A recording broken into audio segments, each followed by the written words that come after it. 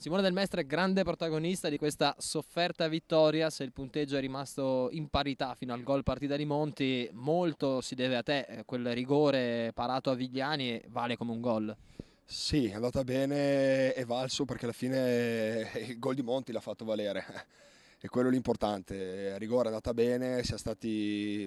fortunati perché comunque ci vuole anche un pizzico di fortuna, però è importante per il carattere perché è una vittoria che, che vale doppio dal punto di vista del carattere anche per come è maturata probabilmente, perché è un primo tempo dove la Triestina sembrava forse essere un po' bloccata dal punto di vista mentale, da questo obbligo eh, forzato di ottenere tre punti per rimettere il naso avanti. Qual è stato secondo te il problema principale? Ma se a parere mio subiamo sempre un po' le squadre di carattere e molto fisiche. Secondo me all'andata e durante il giorno dell'andata è stata la squadra che ci ha messo più in difficoltà, e per di più in casa nostra. Sapevamo che avremmo trovato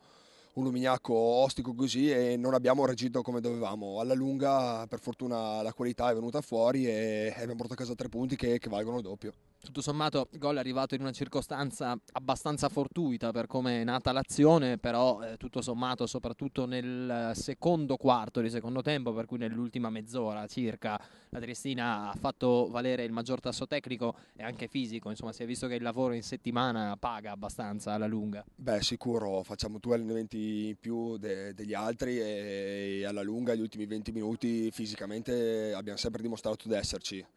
il gol è arrivato sì in modo fortunoso, però Luca era là, è stato freddo sotto porta ed è quello l'importante. Importante anche perché c'erano delle defezioni, alcuni che purtroppo non potranno essere disponibili eh, in tempi brevi, tipo Enrico Daros, è comunque una vittoria fondamentale. Adesso la palla passa all'UFM che per la prima volta, anche se con una partita da giocare eh, in meno rispetto, cioè una partita giocata in meno rispetto all'Unione, per la prima volta si trova dietro in classifica e voi capolista solitaria. Eh, sarebbe un bel sogno poter essere in questa situazione anche domani sera. Sì, sicuramente, siamo stati già bravi a rosicare 10 punti in soli 6 partite al Monfalcone, se adesso ci fanno la cortesia anche di pareggiare domani,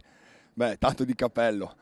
Sicuramente le assenze eh, sarà, sarà lunga, purtroppo quella di Enrico Daros che era un periodo dove stava anche molto bene, però se non altro abbiamo visto in settimana rientrare Michael Cardin che anche lui sta, sta bruciando i tempi e ha una gran voglia di darci una mano. Magari già col Fontana Fredda che sarà un'altra partita di quelle da prendere con le pinze, anche lì in attacco i numeri non mancano. Eh, Fabro del Prete, eh, a loro i numeri sicuramente non mancano spero per Michael che ce la faccia essere disponibile per, per domenica, se no abbiamo la fortuna che adesso arrivano le due settimane di sosta e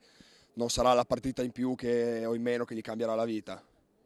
Per cui allora possiamo ringraziare Simone, eh, grazie, grazie soprattutto te lo staranno dicendo tutti i tifosi della Triestina perché davvero senza quella parata sul calcio di rigore di Vigliani forse adesso staremmo parlando in un'altra partita. Sicuramente, grazie a Monti che dopo ha reso valore a rigore parato, dai, e grazie ai tifosi che non mancano mai di sostenerci e di macinare chilometri per darci una mano in più.